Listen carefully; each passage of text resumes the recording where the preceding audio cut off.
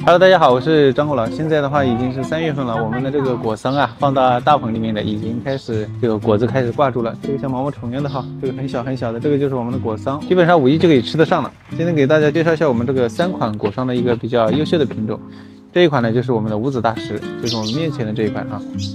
这款品种的话有什么特点呢？就是我们采摘园里面主打的这个果桑品种，用的就是五子大师。它不但可以鲜食，还可以用来泡酒啊，或者说直接把它晒干呢再吃啊，都是非常不错的哈。这个价值也是非常高的。然后我们中间这一款呢，挂的果子非常多，而且叶子非常漂亮的话，这款呢就是我们的台湾长果桑。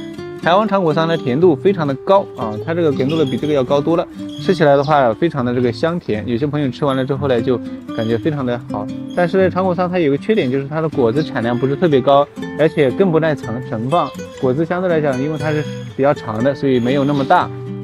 所以这款果实呢，一般的话采摘原理很少，呃，家里自己种上的话才会吃，因为它实在是比较稀少了哈。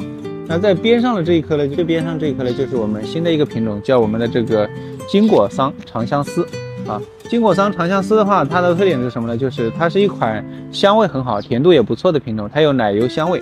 这款品种来自于我们的巴基斯坦，然后呢，甜度的大白兔奶糖的感觉，但是可能比奶糖呢更有那种香甜啊，甜度你可以考虑一下我们的这个品种啊。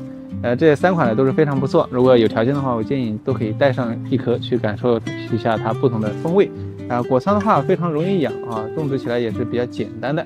那我们盆栽收到之后呢，就是尽量呢先不去换盆，因为换盆很容易造成这个落果哈。等吃完果子再换盆，就尤其是已经有地的话，种到地上，它基本上两三年就会长成一个比较大的树。